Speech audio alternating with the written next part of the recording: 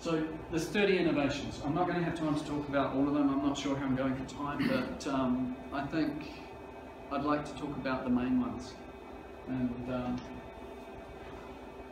you know, the, the, I think the most important ones are, are, the slab, the walls, and the windows. You know, obviously we've got um, some clever stuff in this house. We've got 18 solar panels on the roof. We've got uh, the first salt water batteries in the country, so we can store some electrical energy. We've got um, a heated floor and a fully insulated slab, and we've got um, high performance thermal envelope with um, European style recessed windows and we've got uh, fully insulated um, uh, yeah just super insulated. So um, we've got rainwater harvesting, greywater recycling um, a very uh, clever electrical design with a lot of um, sensors and the house is wired a little bit differently um, so anyway moving on the slab this is a drawing which shows the slab. The red is the insulation. So in most houses, there's a, if you're lucky, there's a, a 50 mil bit of poly, polystyrene under the slab. There's nothing under the, the edge footing and there's nothing at the edge. Um, crit critically, 80% of the heat is actually lost out of that edge because the ground temperature is more constant. It could be 8 degrees, um, could be minus 5 um, in Dunedin outside and um, so the heat finds its way to the weakest link and it's going to be that edge there. So, and, and we, we don't do anything there, but in this house we used an insulated panel at the edge, it's permanent insulated formwork. We got to an R value of 3.36, that's three times code. Just about everything in this house is three times what the building code calls for, and uh, it's not three times the cost. So a better way of doing it, um, or an even more high performance solution would be MaxRaft, which is uh, probably about 4.5 um, in terms of the thermal value or R value. MaxRaft is just a fully integrated uh, system. They have um, foam forms that are pre-plastered and pre-finished and it just goes together like Lego. But, so this one here we use the, the um, mag rock one, and um, it's we we took it a step further. We insulated under the footings. So this is a fairly typical foundation in Christchurch now after the earthquakes because we've got um, dodgy soft ground in a lot of places. So uh, these pods here, they're not there for insulation. You know, some people, laypersons, they see that going going in and around town and think, great, it's going to be warm. It's lots of polystyrene. They do nothing because remember I said 80% of the heat is lost out the edge. So um, the pods are there to form these beams to make the floor, to create an enhanced slab, make the floor stronger. So they're not there for insulation. So the important part is the edge. So MaxRaft have this interesting photo um, where you can see, can you see what's happening here? This is actually a photo from down this way, down the central Otago. So the ground's frozen and they've got no, no edge insulation on their slab and they've got a heated floor so they're actually heating the garden. so this year that would be a great place to plant the, the tomatoes or the citrus. Uh, but it would be a much smarter idea to heat the house rather than heating the garden. Uh, so underfloor heating, water, really energy efficient, particularly if you heat it with solar uh, electricity. So basically how this works in our house is we take solar power, not solar hot water. Thermal solar is, I think, a bit of a dinosaur. So we're taking solar power, we're using that to power an energy efficient tiny heat pump. And it's a one kilowatt input heat pump. So basically we're producing four kilowatts of hot water from one kilowatt of solar energy. That's just normal, that's how a heat pump works.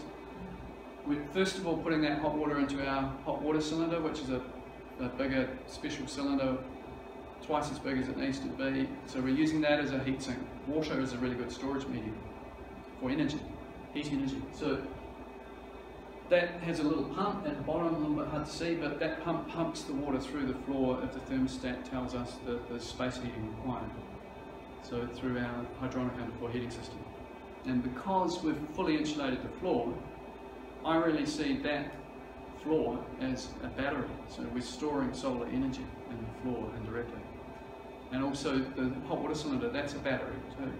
And then we've got our battery batteries. Sorry, sorry to interrupt, but in putting one of those in the house, looking at the size of it, obviously that's why we build two-storey houses.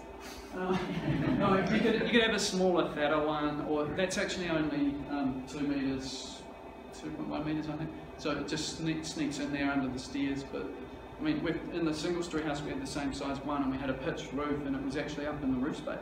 Oh, okay. Um, so there's ways to do it. Yeah. Um, so anyway, the um, yeah. So in any home, whether it's good or bad, probably 70% of the energy requirement is thermal and 30% is electrical, so for the stuff that you plug in um, and your lighting. Um, the thermal is your hot water heating and your space heating. So here, our thermal energy is free because we're using solar. And in actual fact, we only use that when it's uh, when we're generating power. So it's on a daylight sensor, so it doesn't operate at night. So this house is good enough at holding the heat that we don't need to do any heating at night. Even if it's a frosty morning, it's still 20 degrees inside the house with no heating running all night. And um, then when the sun comes out, just clicks in and starts heating up the hot water again. There's batteries. And we, we are actually grid tied too, but um, so we're energy positive, but um, you know, if there's a snowstorm and there's no sun for a week, we're grid tied for that. Um, Do you incorporate geothermal things like that? No. Yeah, I think um, we don't really get cold enough for that to be um, pay off and be a cost positive thing because it's quite a capital cost to, to do that. Possibly, yeah. I know, you know, it, it makes sense um, in colder countries, you know, like European countries where it gets to minus 10, minus 15, that sort of thing.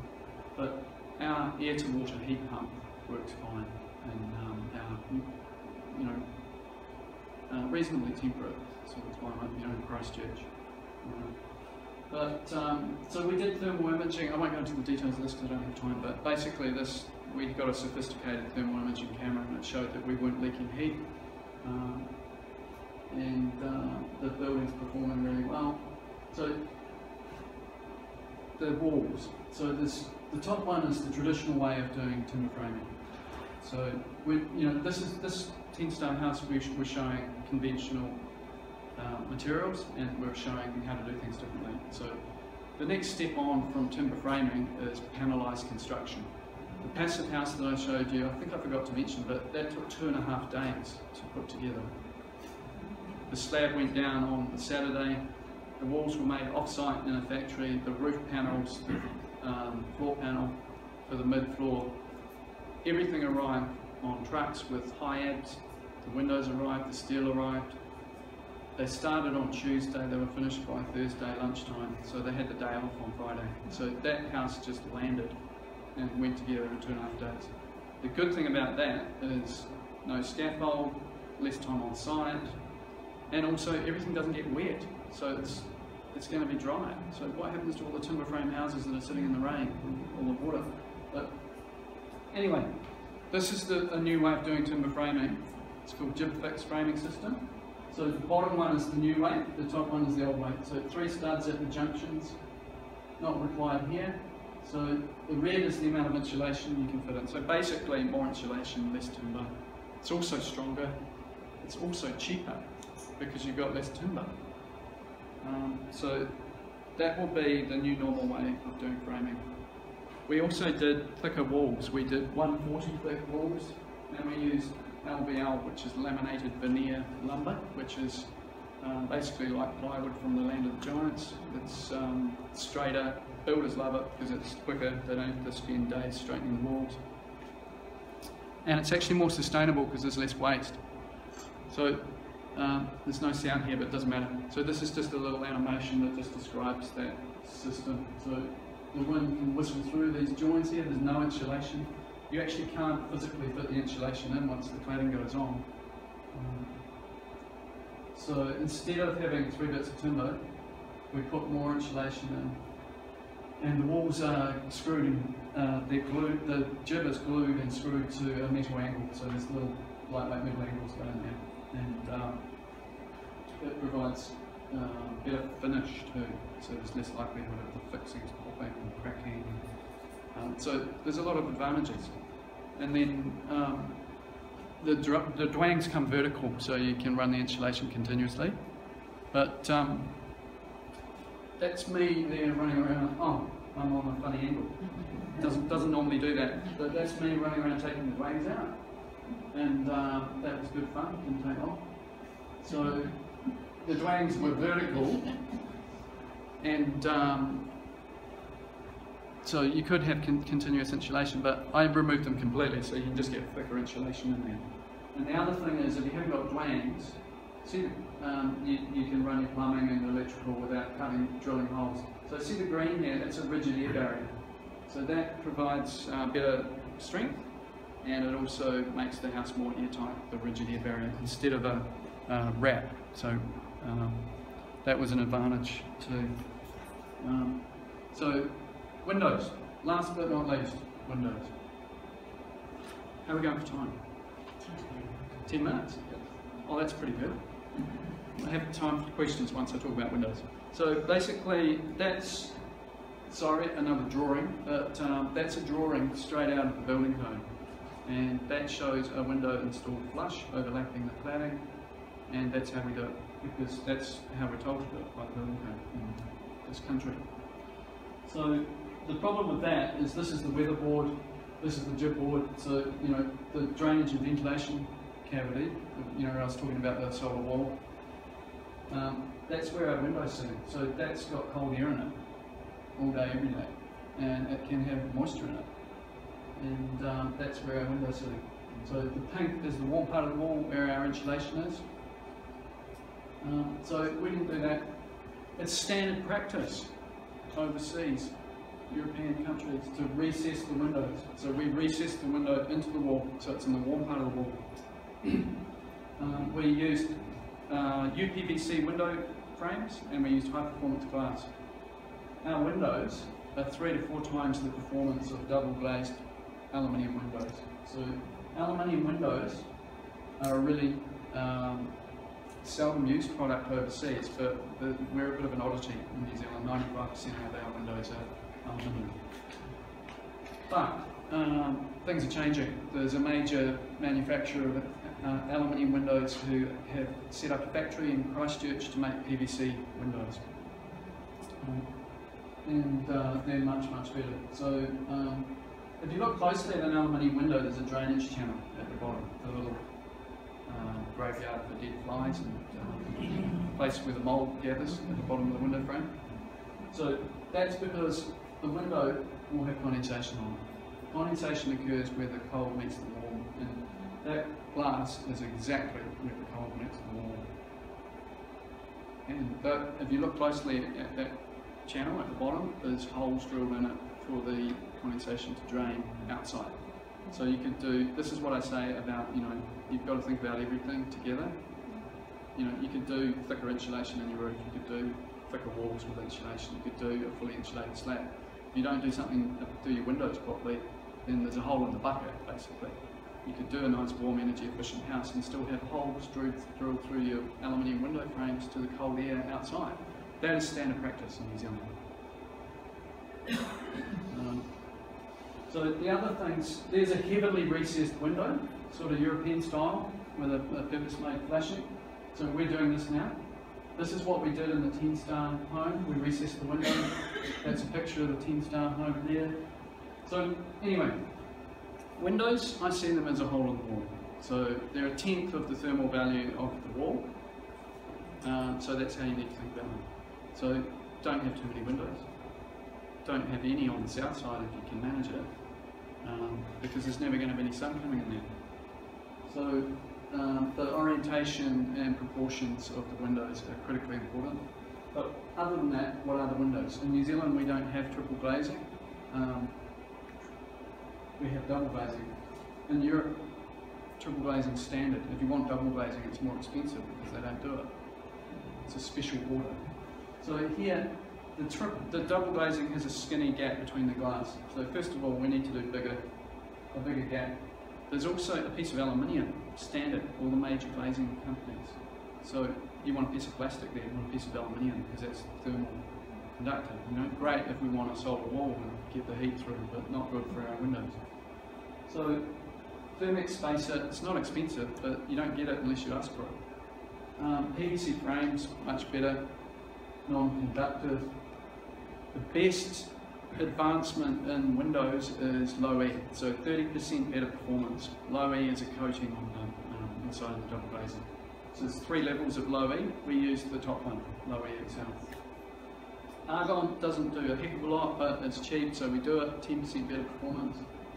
So our windows are 0.7, a good PVC window is 0.53, a typical double glazed aluminium window is 0.26. I actually think because we've recessed them, which is critically important, putting the window in the warm part of the wall is much better than that. It's probably more like one. Mm. Anyway, we talked about air tightness, so I'll skip over that. We blower door test with our 10 down home.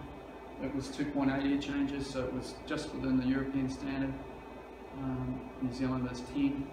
Um, but we're learning, we're doing better next time. We didn't use the internal wraps on that job, but we're using the internal wraps going forward. Uh, there's a lot to think about. Um, thanks very, mu- uh, very much, everybody. There's a website with information on it. You're welcome to come and have a look at these houses if you ever get up to Christchurch. So you're gonna have another one of those? You, Yeah, we're repeating the um, Exemplar Homes tour in May um, next year, and we're also doing it in Auckland and Wellington. So we've launched the Super Home movement in Auckland and Wellington. And are there any designers or builders in this room? Right. Okay. I'm looking for people to launch the Super Home movement. Otago. Oh, we've got we've got we've got an architect uh, a tiger Yeah, structure, because it was a two and a half day home that got all the structure. Yeah, great. They're the way of the future. Yeah. Um, Um, we've got uh, PVC windows, uh, and I think we brought it out because of recycling. I think we probably really, uh, we have no system using. Yeah, well, I think PVC it's, it's not a particularly um, environmentally friendly thing, but when you put, put look at it in context with what it's doing for you, it is. It's a bit like concrete. Concrete's a pretty nasty material, uses lots of energy, but if you've got thermal mass in your building, it'll um, really pay off over time. So the amount of energy you use through the life of the building is, um, uh, you know, many times over what you'll use in producing the concrete. Mm. But what about PVC, what about PVC windows? I mean, in Europe, they've got recycling systems for recycling frames. Yeah, we don't have that unfortunately. Thank you. Um, about um, structurally insulated panels, what about toxicity, like one product versus another? Yeah, yeah, I like natural materials. Like, I mean, those panels there, we made whole wall sections rather than making like Yeah, yeah. individual modules, and we just yeah put them on the truck, put them to the site. They were made from LVL timber, plywood, um, wall insulation with the um, wall, Is sheet it Yeah, yeah, yeah. And then um, we had uh, the good airtight wraps. Um, and uh, yeah, so um, you know, some people don't like polystyrene. You know, it's it's kind of it, it's used a lot in the building industry because it's a cheap um, insulation material. There's probably nothing wrong with it, but um, you know, there are other considerations. You know, uh, if you're thinking about the sort of environmentally sound materials that you're using, there's, there's, there's a bunch of choices. You know, they do the level, level, and the level, so Yep. quick, but, that's all. Yeah, I mean, we've done three mega rock houses, but our system of choice now is the, the um, plywood and timber wall insulation. But you get that very specific, Yeah. so that adds to the cost. Uh, a little bit. It's it's it's not uh, surprisingly little compared to conventional construction, but it, it will be slightly more. Um, did you learn anything with the slag fall from earthquakes? Like, you know, what I, I, I can imagine if you've got an earthquake, which is like a wave, you've got a solid piece of concrete that's gonna buckle and bend and crack and crack out basically. We've learnt shitloads after the earthquakes. um, and the, the slabs that we're doing now with the, the raft slabs or waffle slabs, uh, um, designed specifically for, for that. Yeah, yeah.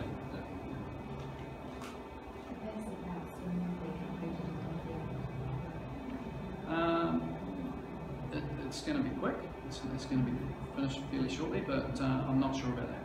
So we need to ask the client. What do you reckon it's time we started moving insulation outside the structural frame and so the dew point as that moisture moves in and out of the frame? It's where it should be. Yeah. Is that what you're doing with your Yeah. plywood system or are you still putting your back like Well, the uh, the- inside the frame? Yeah, well, the houses we're doing now, we're doing with the um, the panel house. Um, we uh, we've got two. We've got a cavity which is sealed airtight with the membranes for insulation, and then we've got a cavity inside that for the services for, for plumbing, electrical. Um, some of the best houses we've done are actually insulated concrete panel houses. So there's a sandwich panel, there's a small um, skin of concrete on the outside, then there's the insulation, and then there's a larger structural skin on the inside. Those are brilliant houses because they have a lot of thermal mass, and uh, if it's designed well, all the junctions are designed with no thermal bridging. They're some of the best performing houses that you we've done. moisture out of the house which gets created by normal? You need a you need a ventilation system. So in any airtight house, you need a ventilation system. And how do they deal with, if you're pumping air in, if you're doing heat recovery, how do you deal with the humidity level which when it change, which you're pumping humid air in? Um, the air inside is always more. There's more moisture in the air inside the house than outside the house. it'll be wetter outside, you'll have a higher humidity level outside than you will inside in this environment. Yeah. How do Um, you deal with that? Because they don't have generally dehumidification systems, with those systems. yeah, I think um, the yeah, I think generally because you're moving the air, you you're taking the moisture out of the house. You know, it's probably something that pumping air into high humidity, which happens Yeah. it's very high, and that's Yeah, but. I think, I mean, it's probably getting a bit technical, but you know, it's probably might be a good idea to talk to uh, a heating ventilation expert. Yeah, but okay. um, the the thing is, if the air is warmer, the um, relative humidity can be higher, so the warmer air can hold more moisture than colder air. So that's how condensation works. So basically, the temperature inside the house is warmer, you're going to get um, more um, potential to hold that humidity and also more drying because you're heating the house. Is there any other questions? Thank you very much.